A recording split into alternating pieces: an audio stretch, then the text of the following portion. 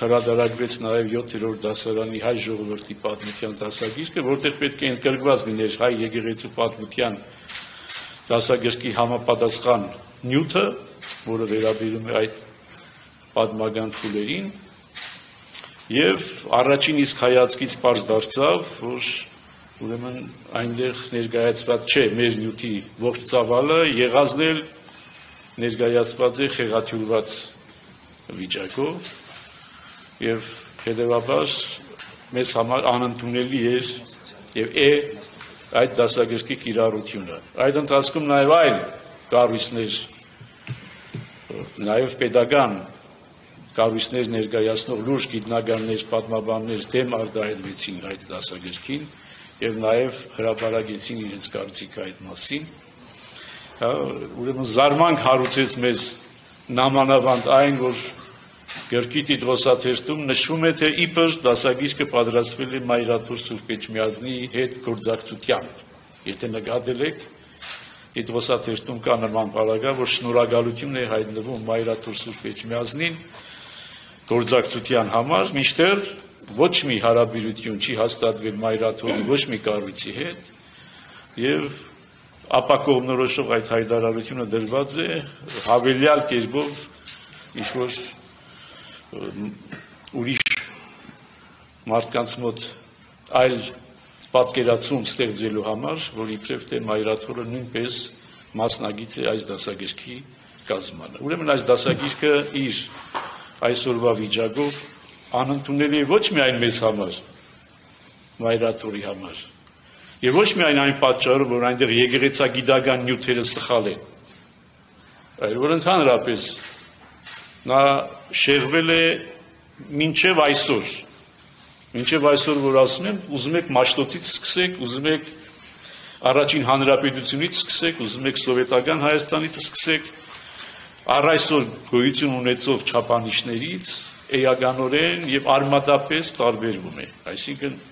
լրիվ փոխված է մոդեցումը, հերոսները դարձել են հագահերոսներ, հագահերոսները դարձել են հերոսներ։ Տիկին նախարարի հայտարարությունը ինքը բնորոշում է այսօրվա կառավարության եւ իշխանության ընդհանուր մտածելակերպը եւ վարվելակերպը, որոնք հիացած են իրենք իրենցով, հիացում են ապրում եւ առաջնորդվում են միապետական Լյուդովիկյան սկզբունքով, կարծում են պետությունը իրենք են։ Իրենք չգիտեն, որ իրենք չեն պետություն, իրենք ընդամենը ժամանակավոր մի ֆազ են, մի փուլ են, այս պետության մեջ։ Իրենք նույնացնում են իրենց պետության հետ։ Եվ այդ ամբարդավանությունը, որ իրենց բնորոշ է, եւ բոլոր հեղափոխականներին է բնորոշ, միշտ ասել է, բոլոր հեղափոխականներին բնորոշ ամբարդավանություն, որոնք կարծում են, թե պիտի հեղաշրջեն, ինչպես սովետներն էին, չէ, քանդում էին աշխարհը մինչև հիմքերը եւ նոր աշխարհ էին կառուցում։ ինչ կառուցեցին, բոլորին հայտնի է այդ կառույցի փլադագների տակ ենք առ այսօր։ Ուրեմն այդ մոդեցումն է, որ մեզ համար նաև անընդունելի է։ Եվ չգործակցել հայ իրականության մեջ գոյություն ունեցող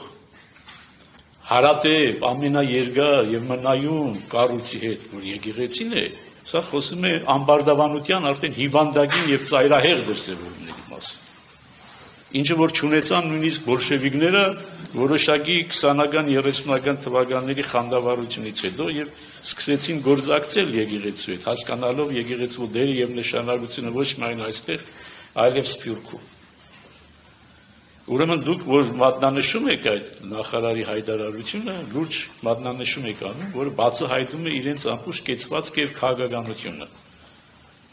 որը հմայվածություն է, ինքնասիրահարվածություն է, հեղափոխականություն է, բայց այդ ամեն ինչի հետևում երևում են իրենց պատվիրատուների ականջները, որոնք ոչինչ չունեն հայության, հայազգային պետության եւ պետականության հետ։ Իրենց պատվիրատուները դրսից են, որոնք բոլոր այս անցած տարիների ընթացքում համոզում էին, նաև մեր իշխանությունների, նախորդ իշխանություններին էին համոզում, որ պետք է ռևիզիայի ենթարկել, վերատեսության ենթարկել ոչ պատմագիտությունը եւ ոչ պատմագրությունը, ազատվել պատմությունից, կարճվածությունից, թոթափել այսպես ասած կոմպլեքսները, կոմպլեքսներից մեկը օրինակ ցեղասպանության հետ կապվածությունն է, հա, այդ կոմպլեքսներից պետք է ձերբազատվել եւ դառնալ համաշխարհային հանրության անդամներից մեկը, անդեմ եւ անդիմագից, ինչպես այսօր համաշխարհային հանրության տարբեր pedagogan կազմավորումներն են։